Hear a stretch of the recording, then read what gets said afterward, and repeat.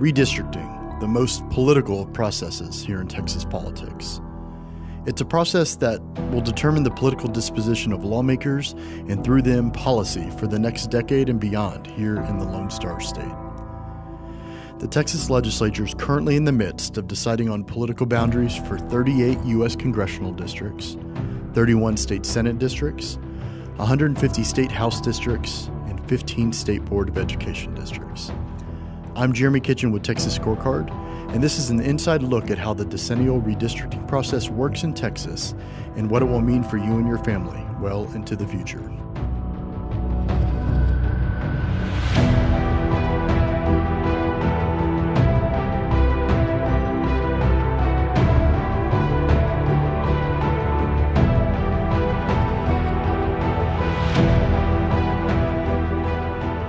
You are listening to Redistricting Texas, a short series featuring Brandon Waltens and Jeremy Kitchen.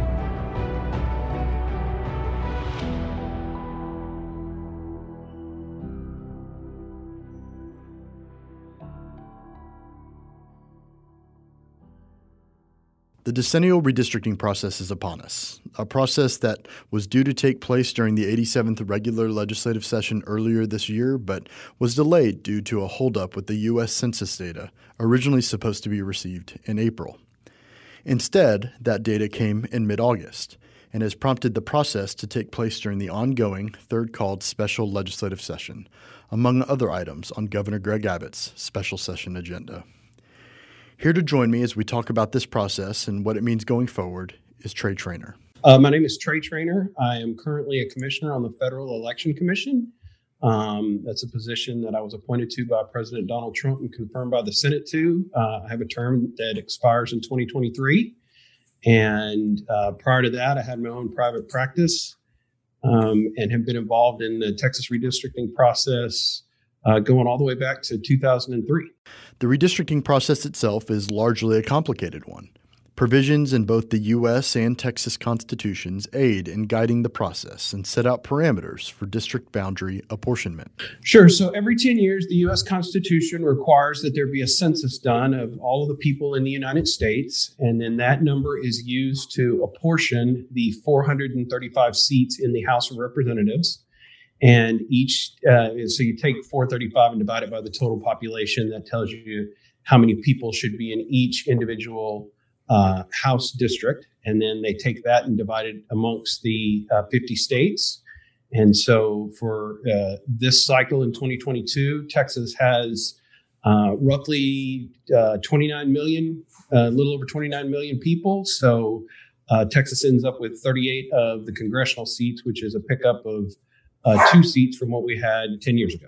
The process itself is guided by certain rules designed to not allow for explicit advantages or disadvantages to drawn boundaries. The, there are several rules that you have to go by uh, in in the process. Uh, first, the U.S. Constitution covers um, what has to be done with congressional districts, and there, all congressional districts have to be exactly equal in population, uh, so they have to have the exact same number of people in them.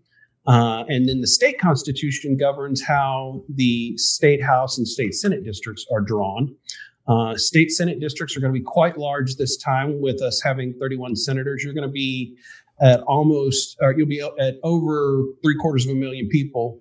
Uh, I'm sorry, you'll be at close to a million people in a state senate district, uh, about three quarters of a million people in a congressional district. And uh, then uh, your state house seats are obviously smaller than that because you're dividing the total population by the 150 members of the House.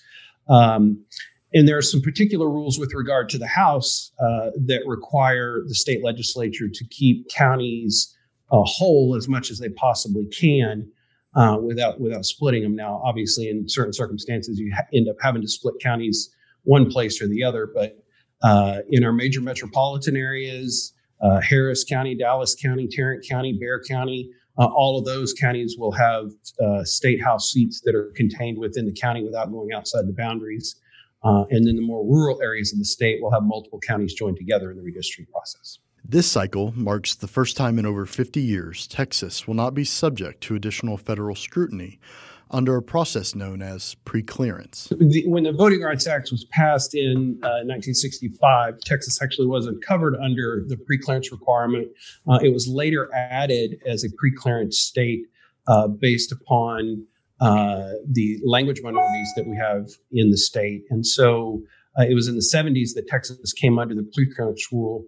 And what the preclearance rule said is that once the state changed an election law, and of course, redistricting would be an election law, uh, they had to go get permission from the Department of Justice in Washington, D.C., or from a three judge panel uh, in the DC District Court to say that there was no discrimination in that particular enactment by the legislature uh, or the districts that had been drawn. Uh, and it, so basically, it had to be blessed by somebody in Washington, D.C. before it was implemented. Um, there was a case that was brought Shelby County um, uh, in uh, uh, Alabama that was um, that that challenged Section Five of the Voting Rights Act, which is the preclearance portion, and the Supreme Court struck down the formula by which preclearance uh, was adopted, and so all of the states that were under preclearance are no longer under preclearance. So this will be the first time that Texas does not have to do a submission to the Department of Justice or to a three judge panel um, to automatically review what's what's happened uh, in the redistricting process. Since the process is taking place later in the year, the approval of maps and the almost inevitable threat of litigation as a result provide for concerns as the 2022 election cycle begins. Well, I think first and foremost, the, the legislature did recognize that, there was going to be a time frame problem, uh, so they did pass a bill during the regular session that would allow them to back the primaries up, um, and by necessity, uh, the the lateness with which this redistricting process is being done, um, you have to do that because once you draw the districts at the state level, both for congressional and state house, and even for state senate, um, the counties then have to engage in a process of going through and looking at each one of their voting precincts uh, because we have very specific laws in the uh, Texas election code that say that you can only have a certain number of people in a voting precinct. And so, and those voting precincts may have shifted from, you know, congressional district one to congressional district two. And so you have to do that, that redividing uh, has to take place. So that's one just kind of natural element of delay that you're going to have is the process by which the counties engage. But the other part of it is is that there's absolutely going to be litigation uh, coming out of uh, redistricting. It always is. Um, you know, it's a very partisan activity. Um, it's it's one where Republicans and Democrats are pitted against each other. Uh, you know, trying to vie for the most seats.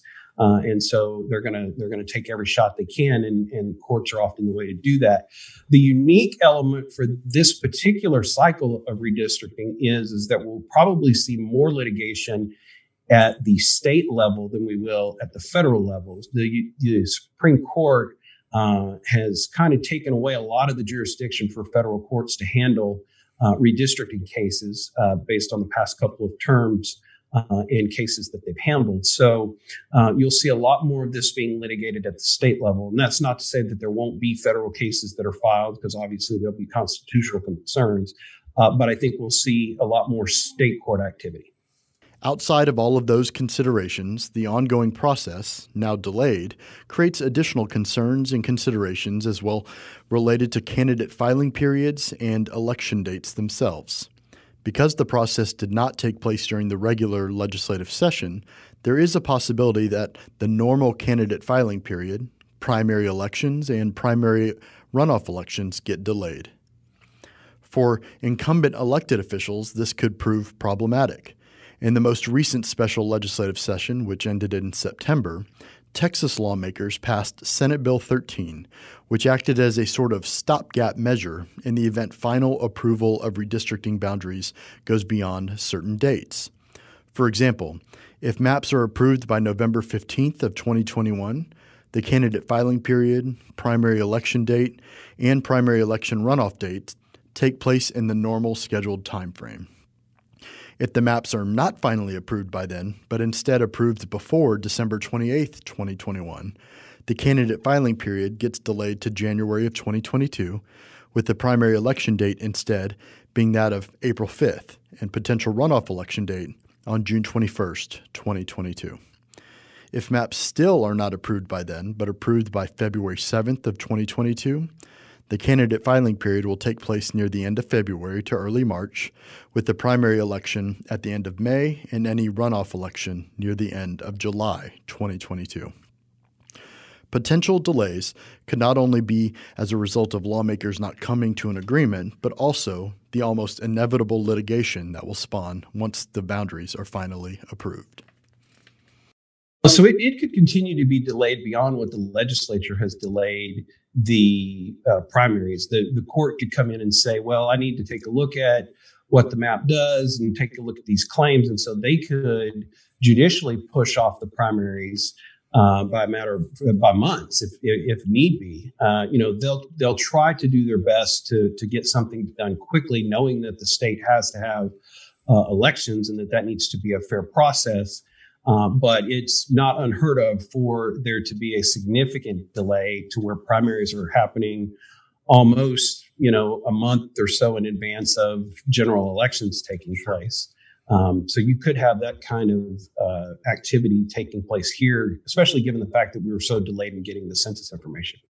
We have not had to deal with this type of delay in getting the census information, and you know everybody wants to blame the census delay on uh, the pandemic, but frankly, it's a function of the way the census was done. Uh, it was very politicized, and the data that's being or that was pr- originally proposed to be used, and now the data that is being used, uh, had some significant statistical flaws in it that have never been present in any of the data that we've used uh, in redistricting in the past. So this, this is the first time that we have uh, we have some specific court rulings that say there's certain data points that you have to look at. Um, and those data points have been statistically manipulated by the Census Bureau um, this cycle, and so it's making the it's making the drawing process harder for those that have to draw the maps, and it's going to make the litigation process uh, even longer, I believe, because you're going to have new expert witnesses testifying to new statistical findings that, that nobody's had to deal with uh, in this process. So I anticipate a significant delay in when the primaries are going to happen. Um, and again, I wouldn't be surprised if they get pushed up very closely to uh, the November elections. Couple all of that with the very real possibility that lawmakers themselves cannot come to an agreement particularly in the Texas House of Representatives.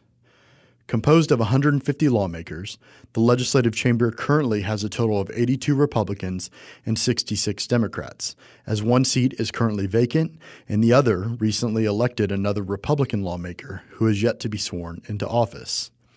As such, besides partisan motivations, many of those lawmakers represent significantly different regions of the state, and those considerations all get dovetailed into the overall redistricting process, making agreements and negotiations additionally tenuous. Uh, if they if they pass them, the next thing that you'll see is, uh, I mean, they go. They're just like any other bill. They have to go to the governor to be signed by the governor to to take effect. Um, I, I, anticipate that you'll see litigation filed shortly thereafter. Um, you'll probably see sort of some sort of temporary injunction entered against the use of those maps. Um, I'll tell you the bigger concern that I have with regard to this 30 day special session is whether or not they even get maps passed during the process. Mm-hmm. Um, I, for the life of me, am not able to count up to 76 votes in the House to be able to figure out how they're going to pass a map uh, there, given that the, the Speaker of the House relies so heavily on the Democratic caucus for most of his votes. And you have Republican members who are being paired in the map that they've put out who may not necessarily want to be paired. Um, because of significant loss of population in West and East Texas, you have districts that are going away, um, and the different dynamics of, of the people who are in sitting in the legislature, not running again or running for some other seat, uh, gives them a particular interest in what goes on with the congressional map, what goes on with the Senate map, and those type of things. So at the end of the day, uh, you know, I, I, think you're in for a lengthy process uh, that involves a lot of litigation. The only certainty when it comes to the decennial redistricting process is that there will inevitably be winners and losers. Sometimes the issue is one of a partisan nature, but in fact, the majority of the time, it's much more about maintaining control by whatever leadership coalition exists in each legislative chamber. This means that the process instead normally rewards lawmakers who are compliant with leadership and seeks to penalize lawmakers who are not. Regardless, the redistricting process is one of which is only a public process for a short time, though it's been subject to private negotiations between those who draw the boundaries for upwards of at least two years preceding it. The process Texans see now is one that has only recently manifested itself publicly and will have political ramifications for the next decade and beyond in the Lone Star State.